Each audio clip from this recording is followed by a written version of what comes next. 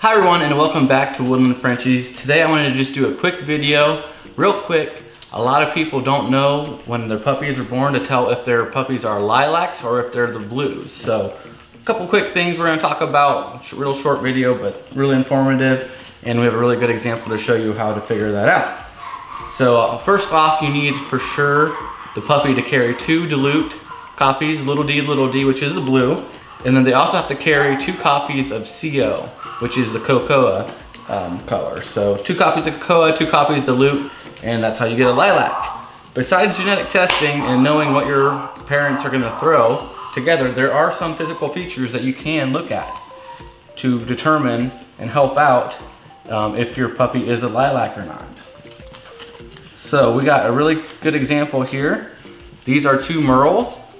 And a lot of time the pads are gonna be nice and kind of maroon and purple-ish looking. So you can see here, we got some really nice purple pads coming through.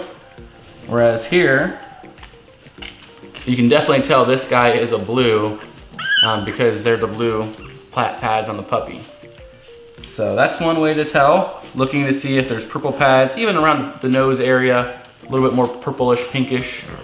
Um, another physical way to show them um, is once these guys don't have their eyes open yet, but once they have their eyes open in the dark, you can do kind of uh, shine a flashlight and see if their eyes kind of glow red is another way to determine if they have the cocoa color. And then, uh, you know, once they're older, you know, not puppies, a lot of times the lilac puppies are going to have the nice light green uh, greenish, uh, tannish eye color. And uh, we can show you maybe an example of that here on the video, what those eyes are gonna look like if you don't wanna test your puppy. So just three quick kind of physical characteristics to look for if they're lilac compared to a blue. And uh, yeah, because she's a blue merle, her dad would be a lilac and tan. But uh, yeah. So thanks guys, hope this video helped. That's funny. You guys.